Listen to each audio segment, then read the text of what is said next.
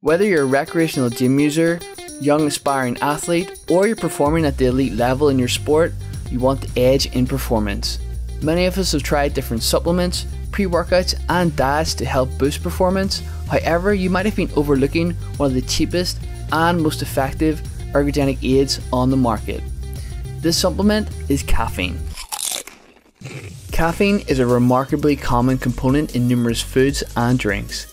The average adult's intake of caffeine varies among different countries, however, typical intakes usually range between 185 to 260 milligrams daily.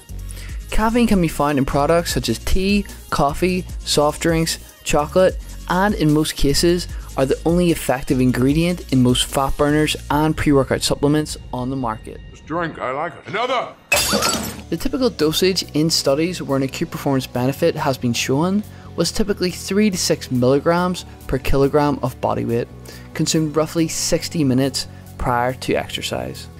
Most of the scientific evidence around caffeine supplementation and performance would indicate that acute caffeine supplementation has a greater effect on performance in aerobic endurance rather than strength performance, but it still improves strength endurance and to a lesser extent maximal strength and power output. However, it is important to note that there's currently still a lack of evidence as to whether these acute performance improvements translate to meaningful strength or hypertrophy gains over time.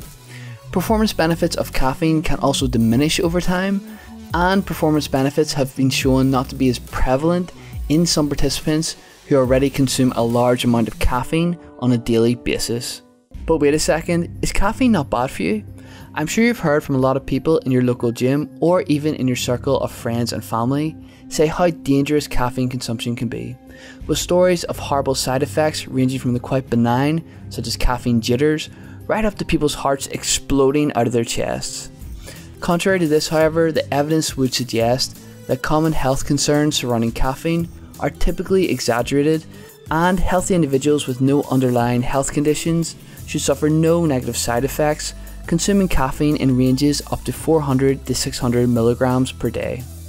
There's also evidence to suggest that regular consumption of tea and coffee within this range are associated with some positive effects on a wide range of health outcomes. However, to minimize the risk of side effects such as insomnia, it may be a good idea to limit caffeine use later in the day.